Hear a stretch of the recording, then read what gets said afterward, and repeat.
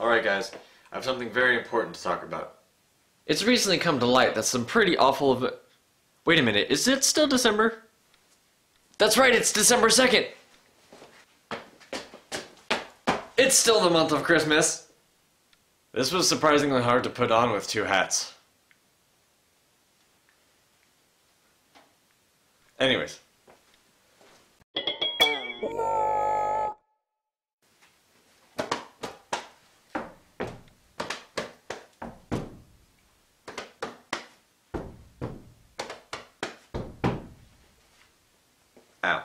Man, I don't think I'll ever be not excited for Christmas.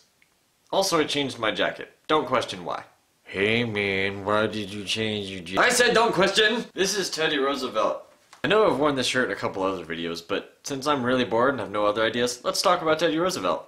I think one of my favorite things about Roosevelt is that he's really famous for that quote, speak softly and carry a big stick. But he was known for shouting a lot and openly carried a pistol on his person at all times while he was president. Pistol, person, president, piston, pie, people, punch. Another one of my favorite Teddy Roosevelt stories is when he was campaigning for a third term and he was shot. Yeah, some crazy dude just came up and shot him. He didn't die though.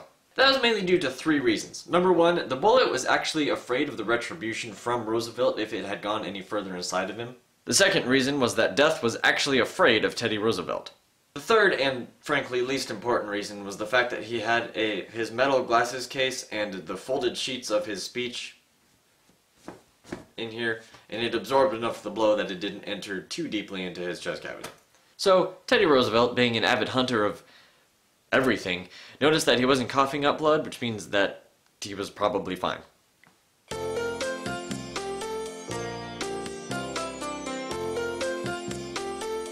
It's just a flesh wound! So he decided to skip the whole hospital thing and just give his speech anyway. He was like, oh yeah, don't worry, I'll take it easy. I mean, I've got an open bleeding bullet wound in my chest, but it's okay. I'll be fine. And then he talked for an hour and a half! Quick side note, he also decided to skip the whole hospital thing because the last time that they brought a wounded president to a hospital, it just went horribly wrong. At the time, that was William McKinley. He was assassinated while visiting Buffalo, New York. They brought him to a hospital and there was no doctor there. Well, there was no surgeons there. There was one doctor, a gynecologist. You can probably guess how well that surgery went. I'll give you a hint. William McKinley died. That's not really a hint. So yeah, that's about like one of 6,000 awesome stories from this guy. I highly suggest you read up on him. And if you want to know a really good source about where to read up on Teddy Roosevelt and other presidents, I suggest this book, How to Fight Presidents by Daniel O'Brien, one of my favorite internet people. Buy it! Not a sponsor! I just really like this book. So thank you, Daniel O'Brien, for being an awesome writer and a generally funny person. Uh, thank you, people, for watching this video. See you next week.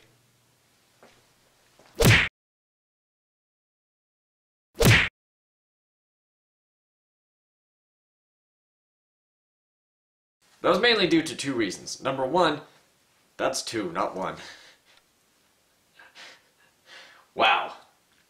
I need more caffeine, I think.